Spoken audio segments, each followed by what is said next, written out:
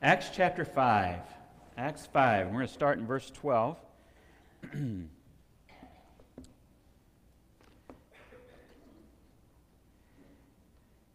Now, what I got out of Mark's announcement about the pies was that I need to schedule all my doctor's appointments around major holidays.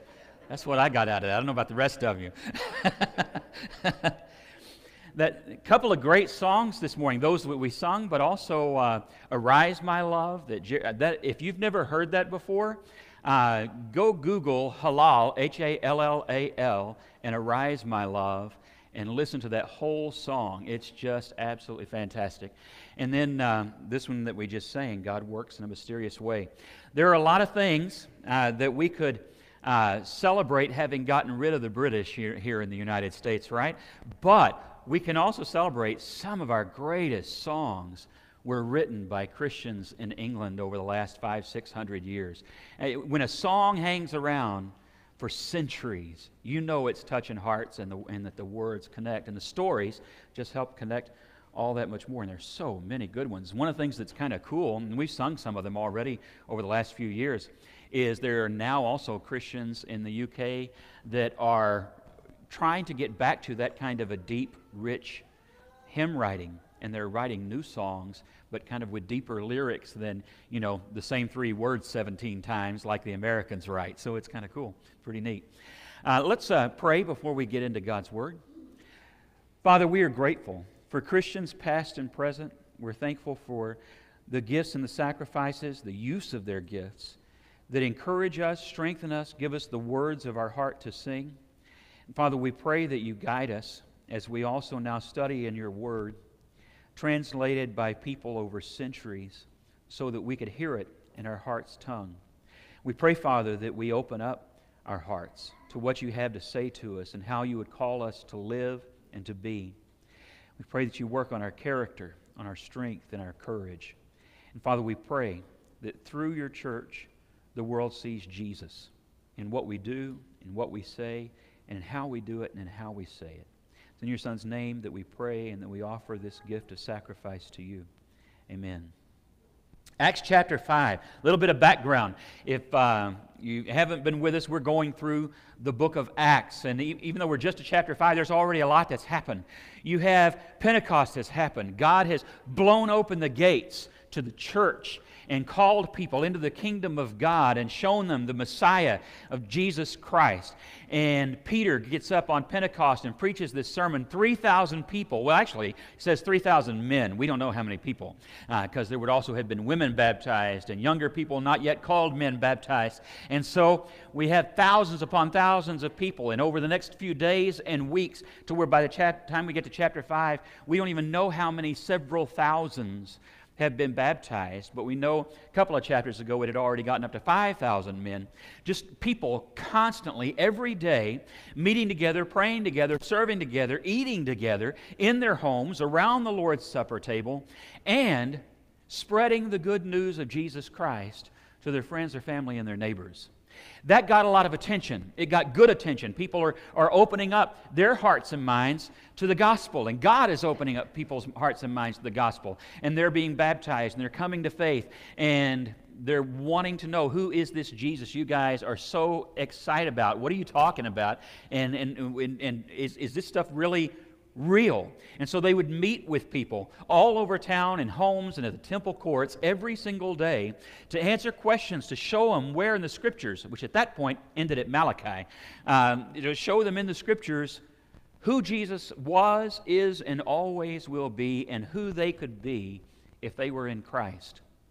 And they responded like crazy. They responded so enthusiastically and dramatically that the people who were the religious leaders and the powers to be that day start going, no, I don't think I like this. These people are getting a little bit too enthusiastic, a little bit too excited, a little bit too into this Jesus guy. And we already thought we got rid of him, and we've had enough trouble with him. We don't need 5,000 more little Jesuses running around all over the place. And they get scared, they get jealous, they're afraid that their power base will somehow crumble because for some of them, that's what it was really all about pride, power, and position. And so they feel threatened. We'll come back to that. They feel threatened. But you know who doesn't feel threatened? The disciples. We saw just in, in chapters 3 and 4, Peter and John go to the temple. They meet a guy who is lame from birth, just over 40 years. And they are asked for a little bit of help you know and so he, he says hey could you give me a hand here i need something to eat and they say look at me and Peter says to him, I tell you, well, actually, first, I, I don't want to skip my favorite part. He says, Silver and gold I do not have, but what I have I give you. In the name of Jesus Christ of Nazareth, get up and walk. And the man is healed, and he gets up, and he doesn't just walk, he runs, he jumps, he praises God. And unlike us this morning, that man did raise hands. I am sure of it that he did. Okay? I'm sure of it. Uh, what Mark meant by that is that we don't, not that we can't. So, you know, right, Dale? All right, I knew I'd get an amen from Dale. Dale likes to put his hands up, and that's all right. He's setting us, setting us an example. He runs around and he praises. Well, these people who are already scared and already nervous and already jealous, they're not liking this. But there's one thing they're never able to do. They try to silence the disciples. They tell Peter and John, and they threaten them. They tell them to shut up and quit and go away. And it doesn't work because Peter, as you know, looks at them and says, Well, you know, got to do the Jesus thing. I cannot not speak about what I've seen and what I've heard. He goes back, they tell the, the other disciples exactly all that had happened. And what do they do? They pray, and they pray for boldness. And they ask God, please hide us from these men. No, that's not what they said. God, please just help us not to know what we're up to. That's not what they said. God, please help us to move to some place like Texas or Oklahoma so that I can just. No, that's not what they said. Lord, please give us, you know, a governor or a president. And that's not what they said. They said, God, we don't understand what their problem is, but help us to go out here and just be even bolder. And the house shook. And they walked out and they preached the word of God. And they got the attention again, didn't they? of these people. And that's where we are in verse 12. Let's look at this. And by the way, this, the church just spread like crazy. Then they had the whole Ananias and Sapphira thing. And even that didn't scare, well, it scared some people, but it didn't scare them away from Jesus. It just made them take things that much more seriously and gained them some perspective. Verse 12 Many signs and wonders were regularly done among the people by the hands of the apostles, and they were all together in Solomon's portico. None of the rest dared join them, but the people held them in high esteem, and more than ever, believers were added to the Lord. Do you hear that? People were scared to death, but more than ever, people were added to the Lord. Maybe, just maybe, we're oversensitive about being forthright about the seriousness of the difference between lost and saved. Maybe we've softened ourselves too much because we're afraid people won't come to Christ if we're honest about the eternal price of rejecting Jesus. I don't know. It seemed to grow their church. Isn't that something? And there's a way to do it, and there's a way not to do it. But you do it, is the key, correct? That had better get an amen from God's people, or all y'all going to be in trouble. I'm going to change my outline. You better be telling people about Jesus. That's what he said, right? And being honest about it when you do. Dale? Amen? Amen. Okay, I got Dale. I got Dale. Dale and I are in on it. Okay. More than ever, they were added to the Lord, multitudes, both men and women, so that they even carried out the sick into the streets and laid them on cots and mats, that that as Peter came by, at least his shadow might fall on some of them. And the people also gathered from towns around Jerusalem, bringing the sick and afflicted with unclean spirits, and they were all healed. But the high priest rose up, and all who were with him, that is, the party of the Sadducees, and filled with jealousy, they arrested the apostles and put them in the public prison. Now, up to this point, as they've been threatened against and intimidated and questioned and told that if you don't stop this, we're going to bring the hammer down on you, all they've done is gotten that much more bold. Now, just to be fair, these are real live humans and real live Christians. And they, it's not that they were not scared. Remember, they prayed for boldness. What do you pray for? What you do not have, right? You pray for what you need more of. So when we read about the apostles and the, and the disciples gathering together to pray for boldness, we know that that means that just in and of themselves, they did not see themselves as some kind of superhuman or super Christian. They saw themselves the same way that you see yourself. But what if? But what if? But I don't know. I don't how. And all of those questions that run through your heart and that run through your mind. The fears that run through your heart and run through your mind. The intimidation of it all that runs through your heart and your mind. They had that too, but they prayed for boldness. And that tells us something else. We can do that too. If we can be afraid like them, we can pray like them. If we can pray like them, we can be blessed like them. If we can be blessed like them, we can be bold like them. And if we can be bold like them, we can be fruitful like them, right?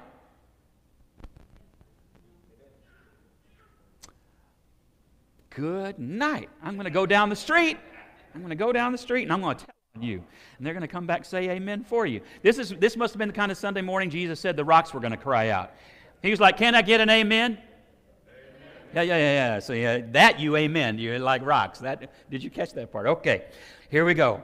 So Acts chapter seven, er, 17, verse 17, the priest, high priest rose up, and they get jealous, and they get angry, and they call them in. Right? But look at this. Look at what happens. Peter says to the, uh, I just looked at the wrong thing, but it was still Peter. Verse 18 They arrest the apostles, put them in public prison, but during the night an angel of the Lord opened the prison doors and brought them out and said, Go and stand in the temple and speak to the people all the words of this life. And when they heard this, they entered the temple at daybreak and began to preach. This is not insignificant. And the, the, greatest significance of this is not the miracle. It's pretty cool that the Lord lets them out, just goes in there and opens up the keys and, or the doors and lets the apostles out so that they can go preach. That's pretty cool. The miracle is neat. But which is a bigger miracle? God sending an angel with a key to a lock or a disciple who's threatened going out and speaking with boldness who's supposed to be in a jail cell. Yeah. Because which would be the bigger miracle if you had been the one in the jail cell? Would you be scared to walk out that door? I mean, you'd be excited. You'd be emboldened by the presence of an angel. But when the angel gives you the instructions, I want you to go right back out there, right into those temple courts, and God wants you to speak the gospel. And you say, All right, because you've got an angel with you, right? And then the angel goes, then what do you do? Oh, wait a minute. I thought he was, did you, you wonder if they talked about it? Wait, didn't you think he was coming with us? Did, did you think? Did you think maybe he was going to, wait, what? I, we got to go by ourselves? But we don't have that conversation. It could have happened. I have no idea. What we have is faithful obedience. They believed in the God who set them free. I'm convinced that sometimes the church is not as effective as it could be and should be, not because we're not able, not because we don't even have the gifts or the skills that we need to do it, but because we're still not quite sure. Will God protect us? Will God lead us out? Will He open the doors? Will He open hearts? Will He open eyes when we share the gospel? We should know by now, even just by chapter 5. The answer is yes. God will. The question is, Will we? That's always, the, it just always comes back to that, isn't it? I've never struggled, and I know some do, and I'm not saying good, bad, better, worse. I've never struggled with faith in what God could do. Never. Never. I have struggled often, if not always. By often, I mean about every three minutes on a good day. I have struggled with faith in myself. They didn't walk out the door because of faith in themselves, though, did they? They walked out the door because they believed that despite what they felt about themselves, God would. God can, and God does. So you just go. It's an incredible freedom that comes with knowing what God can do and not worrying about what you can and cannot do. And for that reason, every time there was pressure put on them, things just got better. That's why the church just kept getting better. So that they would threaten and the church would go out more. They would threaten and the church would pray for boldness and go out more. Then they would threaten again and they'd say, So? My favorite Madea quote. Any of y'all watch those movies? I've only watched one. Most of them are too long for me. Uh, but my favorite quote, you can blame Julia Evans for this, because uh, Donnie was telling me how much she loves these movies. And I said, well, I guess I need to see one of them. And so I watched this one. And she was quoting, eh, kind of, quoting scripture to somebody, which she calls the prescriptures. She said, you know, the problem with you Christians is you don't know your prescriptures. If you knew your prescriptures, you'd know what to do. And she told her friend, she said, Anytime that somebody says something you don't like, you just say, well, the righteous and the, or excuse me, the redeemed in the Lord say so.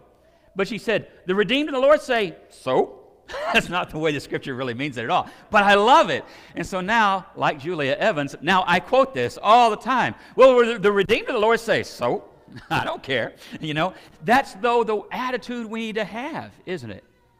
When Satan tries to throw up every possible barrier, we ought to just say to Satan, Well, the redeemed of the Lord say, So?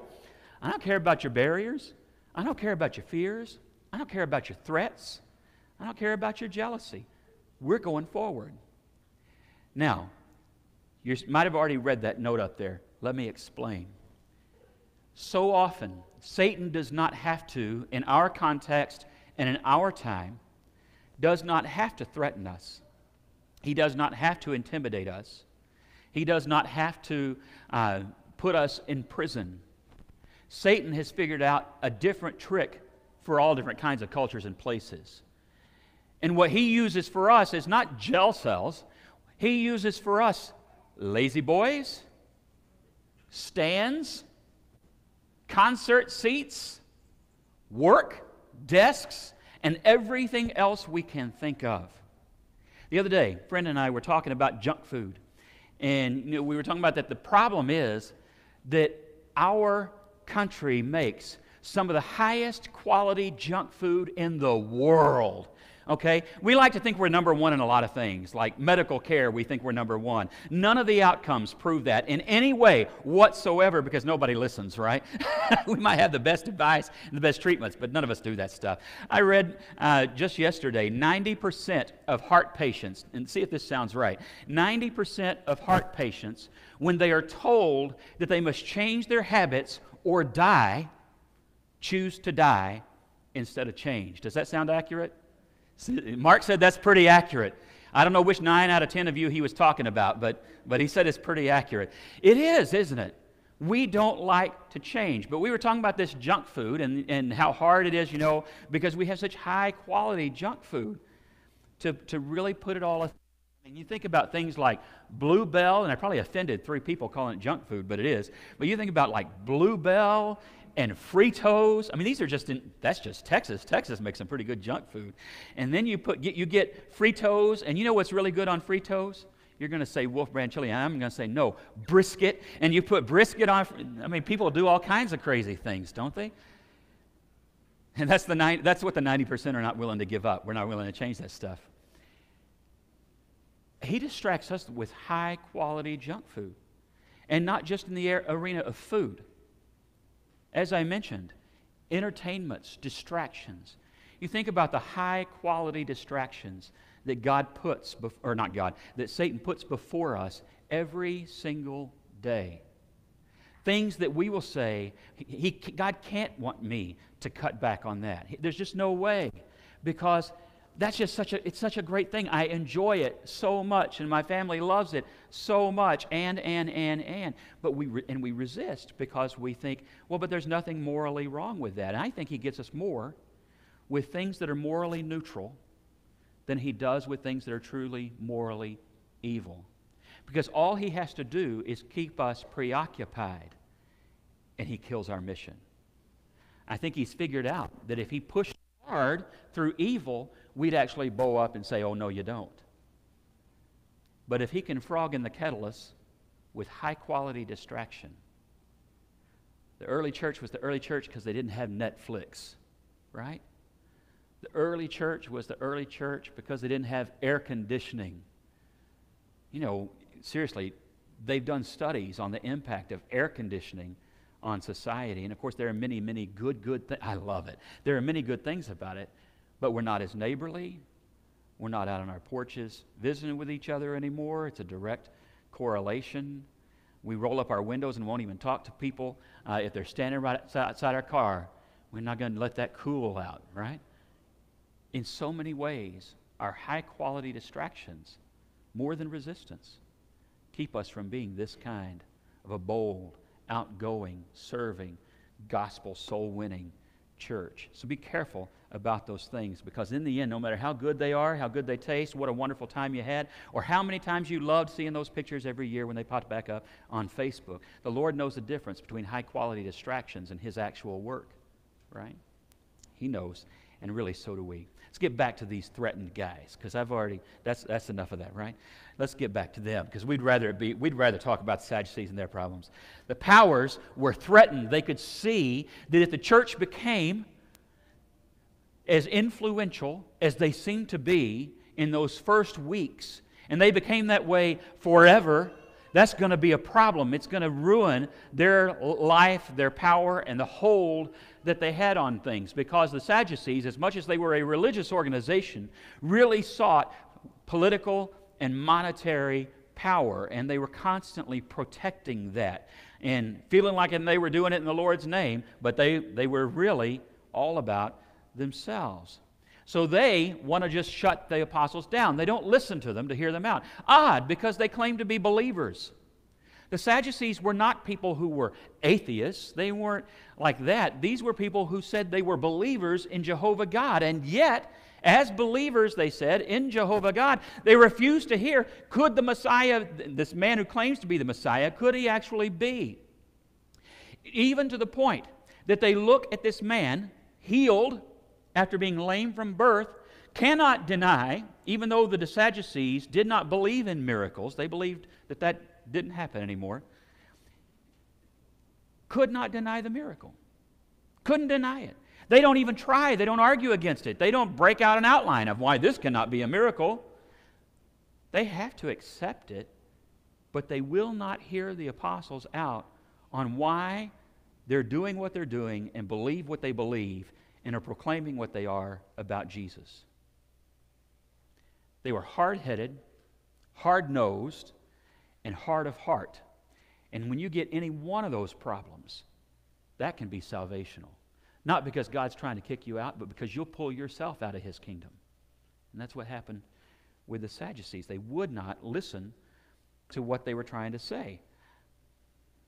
I've done that. Rejected things out of hand because I hear it and it's not what I already think.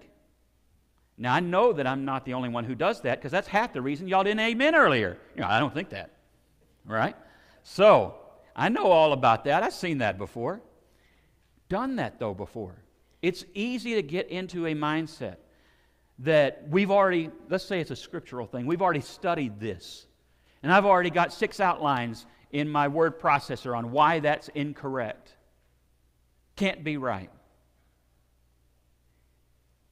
No disciple of Jesus gets away with following their own outlines for a lifetime and still considering themselves faithful.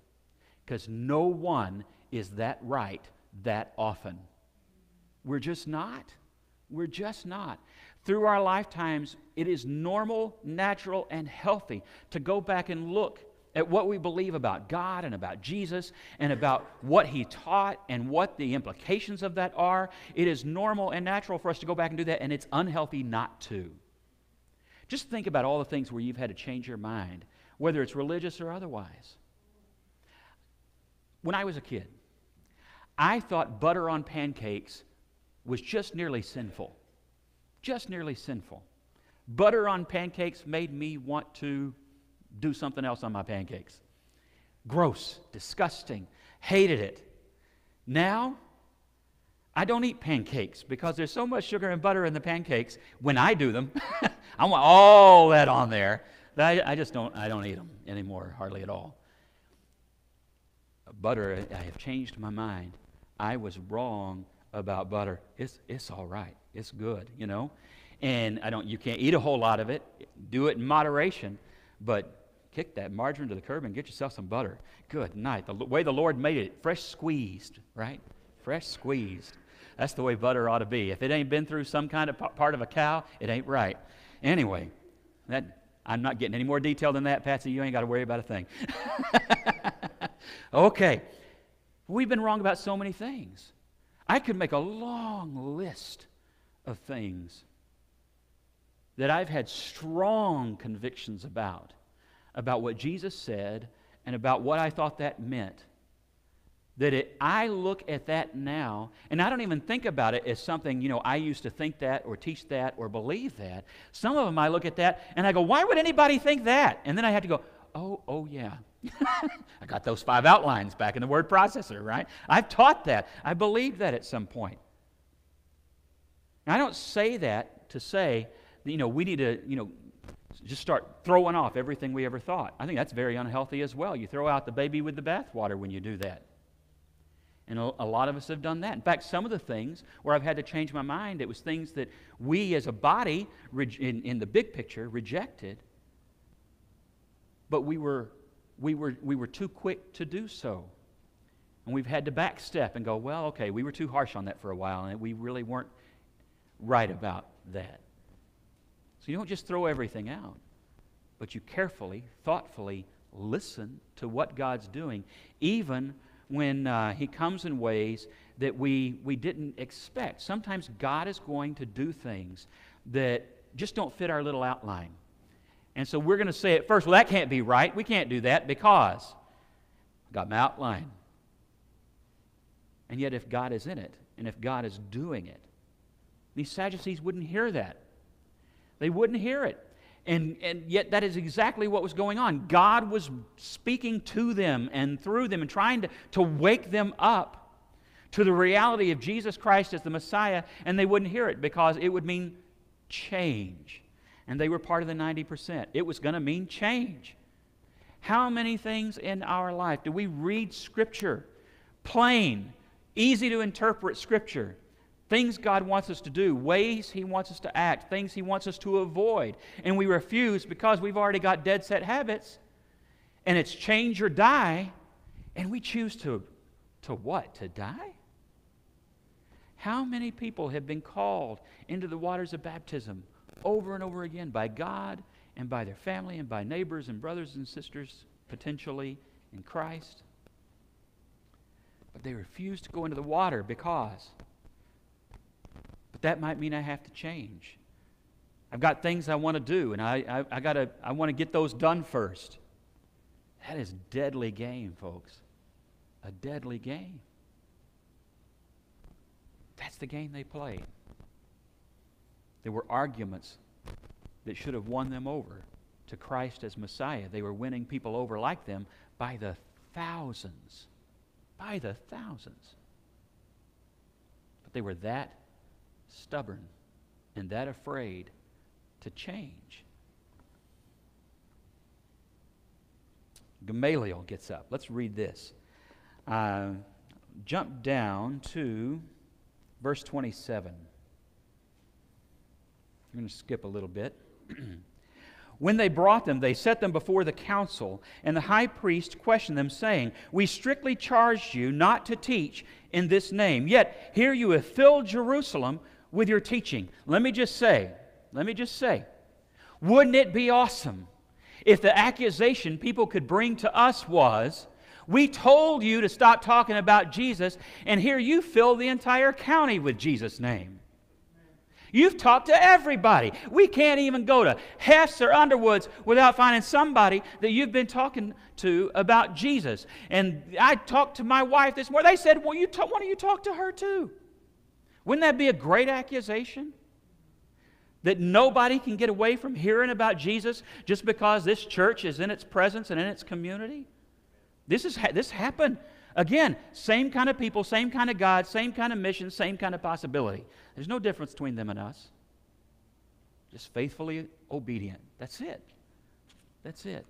You have filled Jerusalem. They had more people to tell than we do, too. Isn't that something? I'll go on. Let's see. Verse 29. No, let's go to 28. We strictly charge you not to teach in his name, yet you have filled Jerusalem with your teaching, and you intend to bring this man's blood upon us.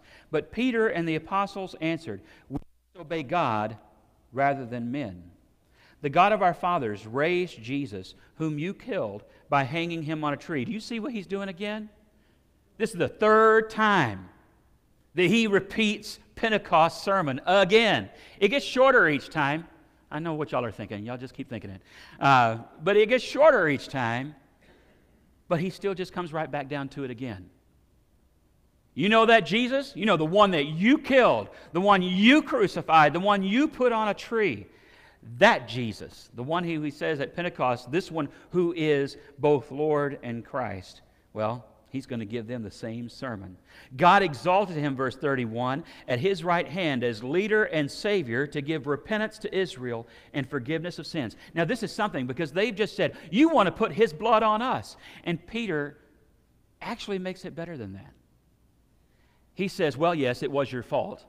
he doesn't let him off the hook. Yeah, you're the ones who killed him. But do you understand why God let you do that? It was for your forgiveness.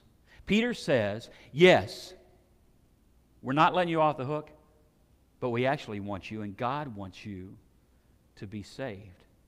This was never about coming here to judge you, it was always about coming here to save you. That's a cool message Peter gets to present to the leaders of Israel, isn't it? We are witnesses to these things, and so is the Holy Spirit, whom God has given to those who obey him. When they heard this, they were enraged and wanted to kill them. That is not the reaction people want when they spread the gospel, is it? They got so angry, they were ready to kill him. I read about a preacher that uh, was trying to help this couple out and, and was working with them, had given them a place to stay and all of this. And then one day he goes to them and he was having to deal with something that was a problem.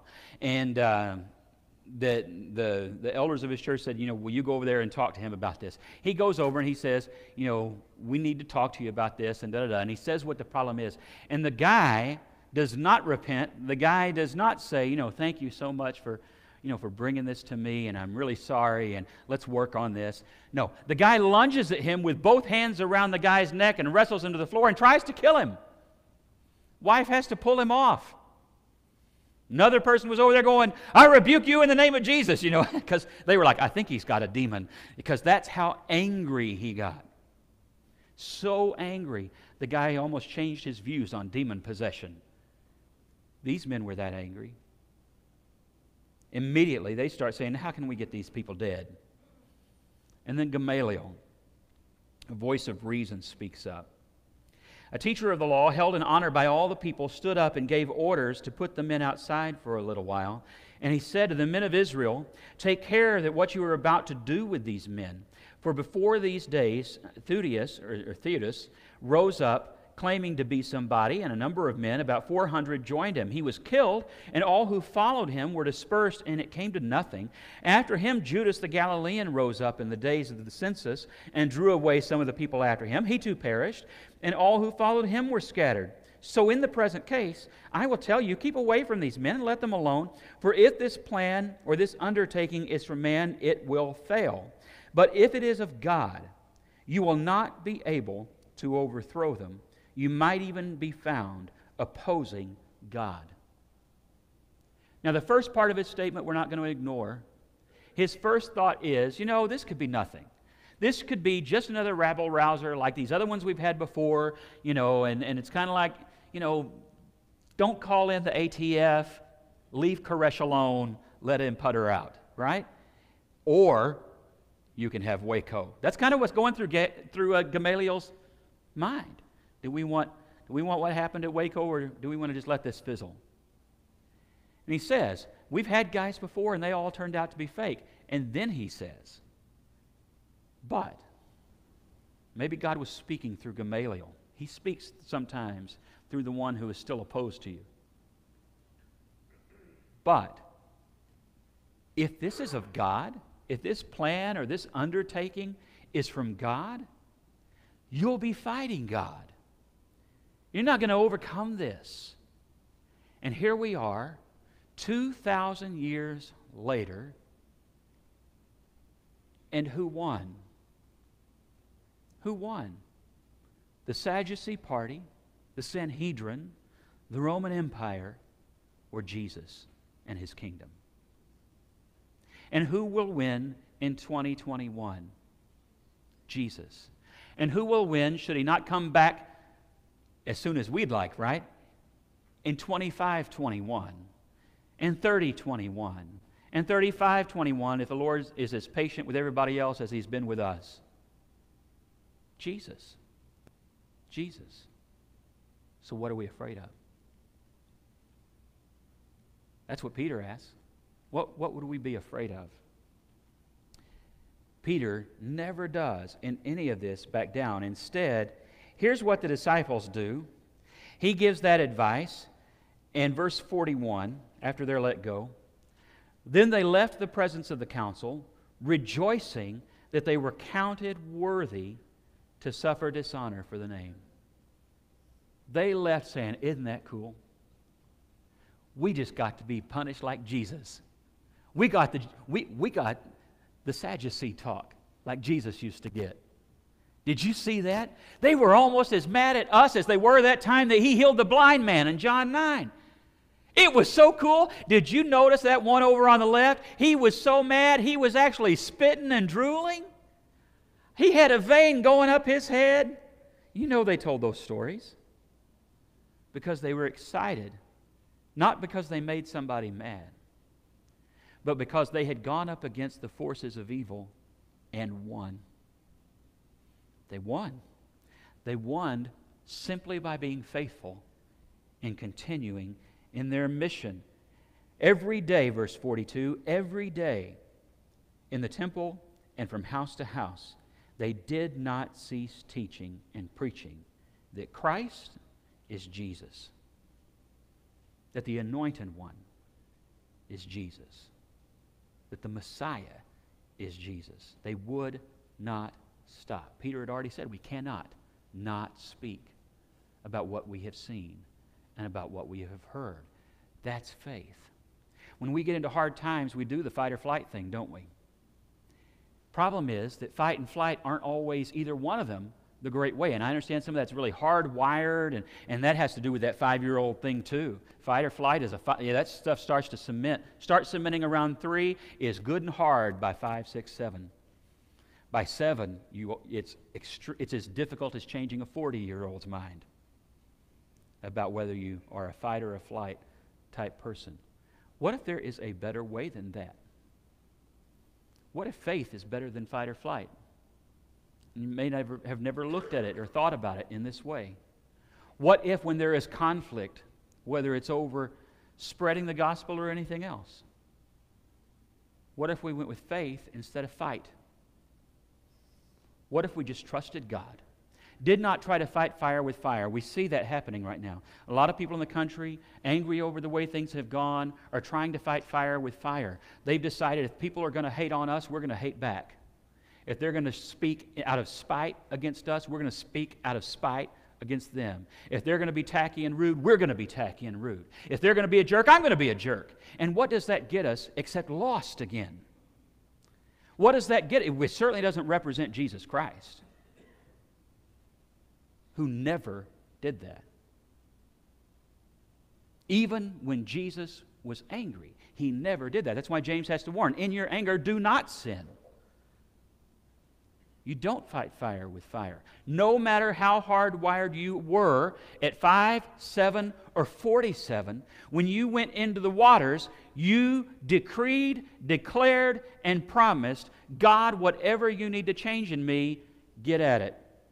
You agreed to be the 10% who here change or die and change.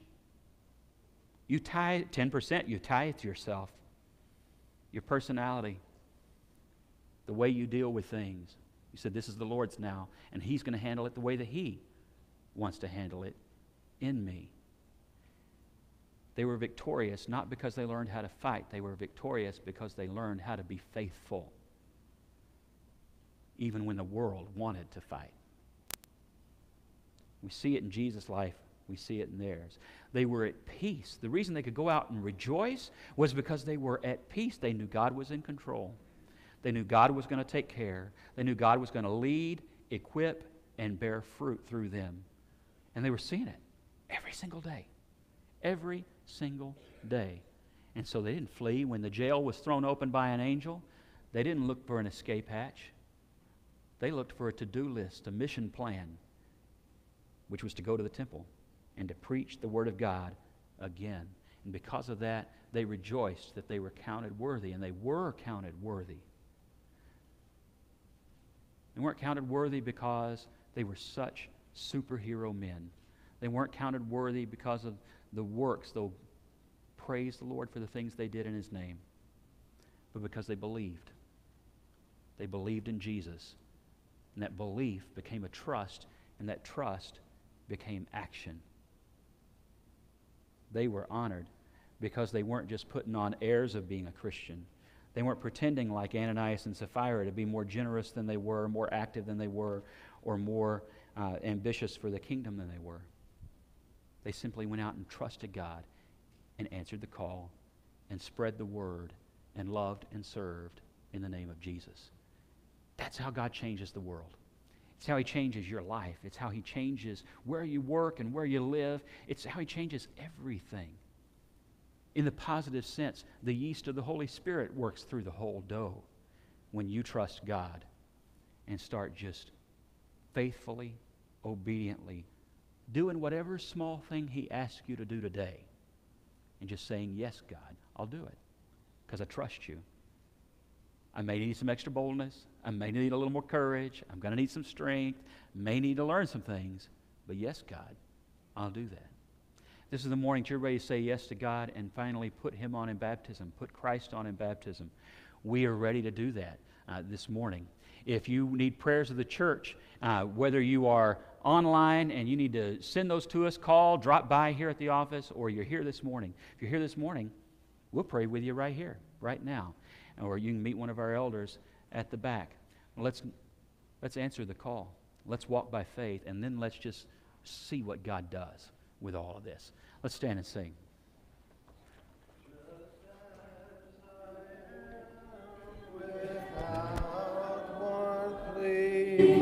Without